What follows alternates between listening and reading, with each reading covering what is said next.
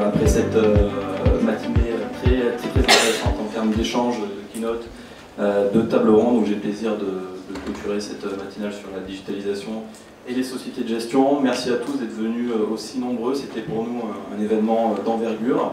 Visiblement, c'est réussi. Il y avait plus de 300 inscrits et tout le monde n'a pas pu venir. Donc voilà, on voit vraiment que le, en tout cas, le digital, c'est au cœur des, préoccupations et des stratégies de demain pour, les sociétés de gestion.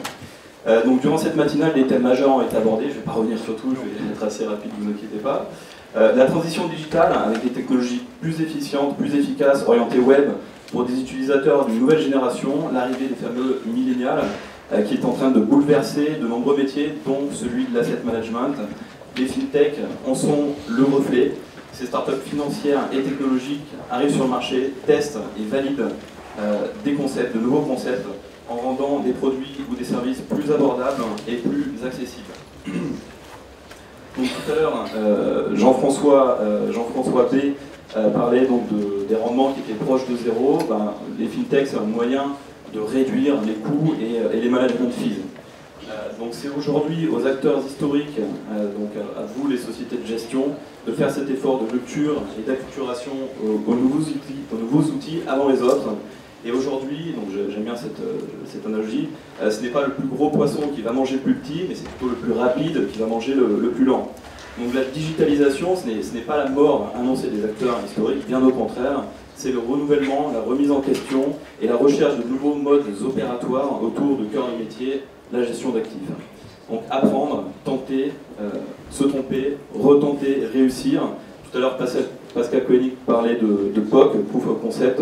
Donc c'est vraiment l'état d'esprit start-up, un changement d'état d'esprit, une prise de risque, de risque que doivent prendre les acteurs historiques.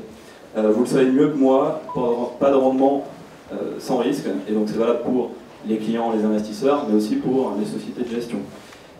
Donc on l'a vu, de nouveaux modes opératoires, de nouvelles technologies voient le jour. La blockchain, malgré la complexité technique, on a bien compris l'utilité pour la traçabilité et l'échange de titres.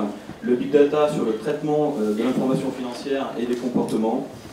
Et puis de nouveaux supports avec la plateformatisation de certaines activités pour toucher plus facilement des clients, on parlait tout à l'heure de mass market qui était encore inexploité, donc la plateformatisation, c'est une manière relativement euh, efficace de les toucher à moindre coût, donc avec des coûts de structure qui sont relativement faibles. Et on peut le voir avec des acteurs comme le ou Wellfront qui s'est développé en quelques années et qui gère aujourd'hui 5 euh, milliards de dollars avec une centaine d'employés. Euh, merci à tous d'être venus. Je ne vais pas être plus long. il y a des petits fours à l'extérieur. je veux remercier David avec euh, Front Consulting, Finance Innovation, euh, Saltana qui est ici pour l'organisation parce que c'était quand même du travail, donc bravo à elle. Et tous les équipes qui sont euh, Alexandre et Thomas qui sont venus. merci à tous aux intervenants au table ronde. Et voilà, n'hésitez pas si vous voulez discuter avec nous, on est, dehors et on vous dit à bientôt pour la prochaine matinale.